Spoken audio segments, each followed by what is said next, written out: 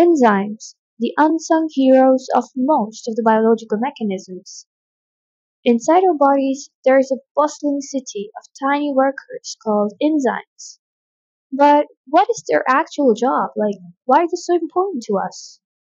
Well, to understand this, first you need to know that in some mechanisms, we tend to use a substance that can speed up the reaction because some reactions are naturally quite slow and it takes a lot of time till we can achieve the product.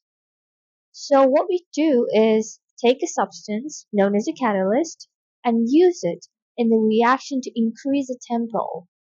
In simple words, a catalyst is used to simply quicken the process and after the reaction is completed, it remains unchanged. Enzymes are a type of a catalyst that are used in the reactions taking place inside living organisms. That is why we call them biological catalysts. They are protein molecules, and the arrangement of amino acids in that protein is what makes each enzyme unique in its shape. There is a specific region on the enzyme called the active site, which is the place where substrate binds. Substrate is just a fancy term for the molecule that the enzyme works on to convert it into the product. Enzymes are highly specific. Their active sites recognize and bind with a substrate that complements their shape perfectly, just like how a key fits into a particular lock. This model of enzyme action is known as the lock and key hypothesis, which states that the active site of the enzyme is rigid and it only allows a specific kind of substrate to fit into it. Once the substrate binds, it forms an enzyme substrate complex.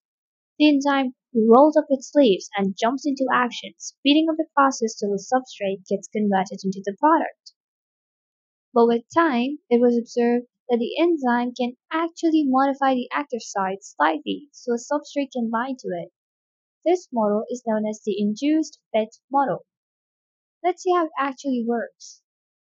The enzyme and the substrate initially come into contact, but the fit is not perfect. The active site adjusts its shape to better accommodate the substrate, and simultaneously, the substrate begins to modify its shape until both fit perfectly into each other. It's just like shaking hands with someone. As you clasp hands, both of you adjust your grip slightly for a more comfortable and secure handshake. Now, active sites are very sensitive. They work best within a particular temperature and pH range. Most enzymes in the human body work at their fastest rate at 37 degrees Celsius. This is known as the optimum temperature, which is the temperature at which the enzymes do their job most efficiently. As the temperature rises, the activity of an enzyme slows down. At around 60 degrees Celsius, the enzyme denatures, which means its structure gets messed up due to the high temperature, making it unable to function anymore. Enzymes have a favorite pH, called the optimum. When the pH is just right, the enzyme works really fast. But if the pH goes too high or too low, the enzyme slows down. This is because the amino acids present in the enzyme are either acidic or basic. Changes in the pH can impact these amino acids, making it tough for the substrate to attach. The concentration of both the enzyme and the substrate is also a factor that can affect the rate of enzyme action. By increasing the quantity of enzymes, more active sites become available, allowing more substrates to bind. The speed or the rate of conversion of substrate into products increases rapidly. This will continue until the enzyme and substrate reach an equilibrium state. After that point, further increases in enzyme concentration will have no effect on the rate of the reaction. Now, what if we raise the amount of substrates present while keeping the number of enzymes constant?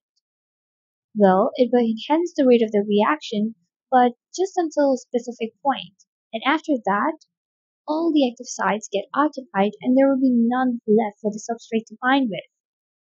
In simple words, further increasing the substrate concentration will not affect the rate of the reaction.